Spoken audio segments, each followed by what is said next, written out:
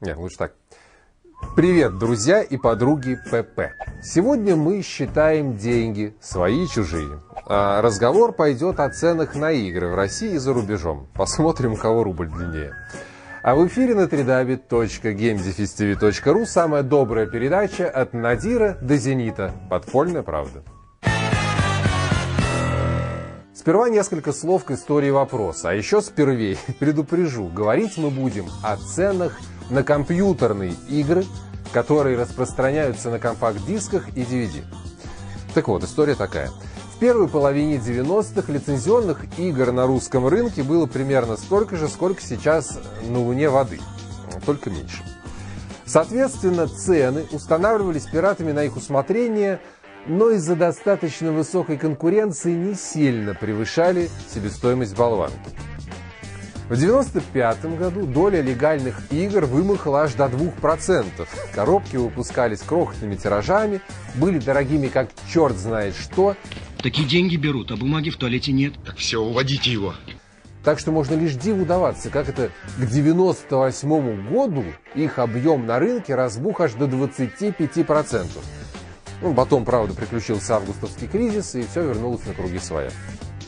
Обо всем об этом можно было бы не говорить, если бы не одно обстоятельство, которое напрямую касается темы нашего сегодняшнего разговора – цен на игры. Речь о компании Бука. Это когда-то старейший в России разработчик, а ныне собственность фирмы 1С. Эта самая Бука в 1998 году представила публике первый отечественный квест «Петька и Василий Иванович спасают галактику. Тем, кто застал ту благословенную эпоху, про эту игру ничего говорить не нужно, а тем, кто не застал, не нужно говорить тем более. Главное не в квесте. Главное в том, что это первая у нас в стране игра, которая была выпущена в Джевел Паке, в маленькой пластиковой коробочке, в бюджетной комплектации. Это позволило хоть как-то сбить цену и заставило пиратов хоть чуточку угомониться. Что происходит теперь? Про пиратские диски говорить не стану, мы уже делали отдельный выпуск по этому поводу. Цены на них неоправданно подскочили, и когда-нибудь негациантам из переходов метро это аукнется. А что с лицензиями?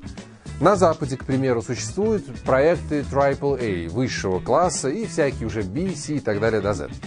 Цены на игру ААА класса и третий сорт разнятся примерно так же, как на парфюм Light Blue от Дольче Кабана и одеколон «Гвоздика», продаваемый в розлив полуподвальной кустарной фабрикой Бирюлевского района.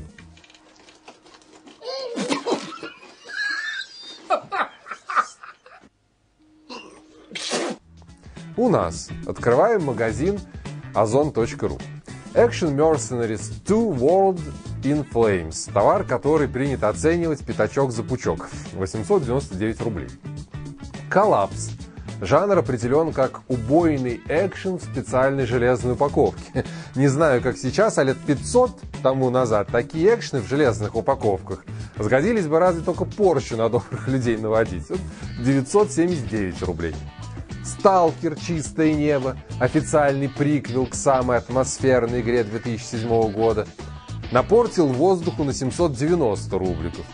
World of Warcraft – Wrath of the Lich King, господи, русская версия в представлении, надеюсь, не нуждается. Это как раз тот самый AAA класс.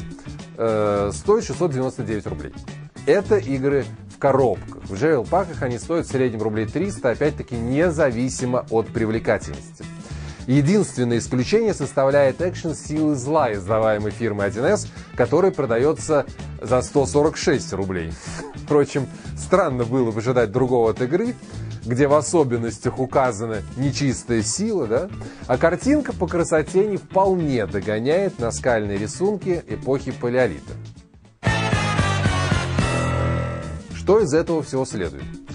Во-первых, у нас в стране очень любят потолковать в том духе, что, мол, ай-яй-яй, какие поганцы-пираты.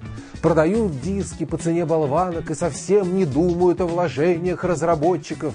Но официальные издатели и распространители тоже продают диски по фиксированным ценам, а стало быть, не думают о затратах разработчиков. И те, и другие думают исключительно о собственной прибыли. Только одни получают барыш с оборота, а другие с наценки. О спросе при этом не думает никто. Еще удивляется, что игроки предпочитают качать, а не покупать.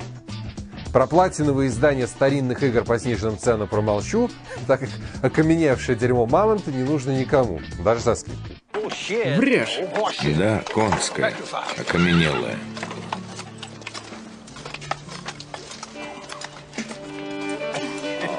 Господи.